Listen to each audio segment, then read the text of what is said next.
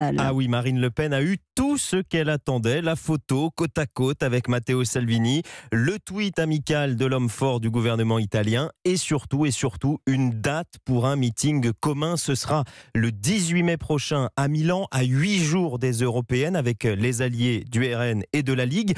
L'organisation de ce meeting avait, euh, il faut bien le dire, semblé tourner au casse-tête annoncé initialement en janvier, toujours reculé officiellement pour des raisons d'agenda côté italien, au que certains évoquaient même une prise de distance du ministre de l'Intérieur italien, doute accentué par une rencontre annoncée puis avortée entre la tête de liste RN Jordan Bardella et Matteo Salvini il y a tout juste une semaine à Rome.